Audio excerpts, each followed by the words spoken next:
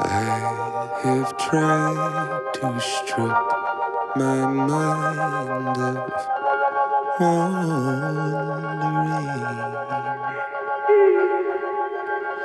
It only serves to seal it in.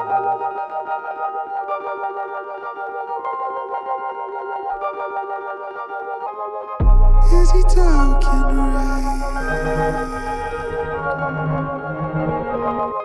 Is he talking right? Is he doing fine?